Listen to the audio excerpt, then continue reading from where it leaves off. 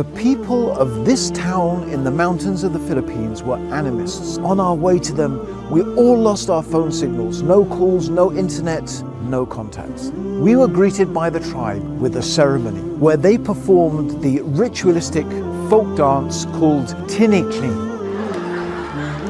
We delivered our lectures on the basics of the Islamic faith.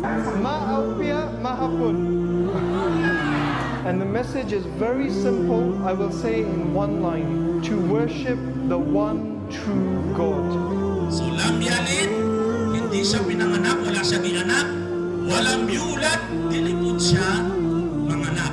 The local guide then explained to us that they were saying how grateful they were that we had told them about the true message of Islam and how different it was from what they had heard in the media. We told everyone that there is no compulsion in the religion. The choice was theirs to accept it or reject it. When Allah wants to guide people, there is nothing that can stop it.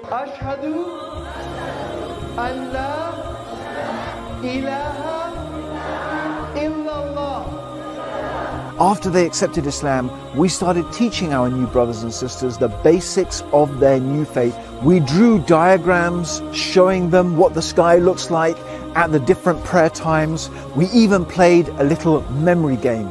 We showed them each step of the salah and wudu, and then we jumbled up the order and tested them to see if they remembered the order. Okay,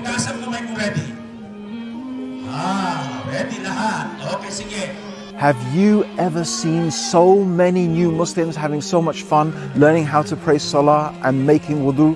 How can you not want to have this on your scale of good deeds?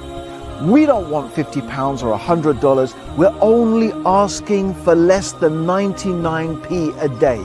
Click the button and start sharing in this reward now.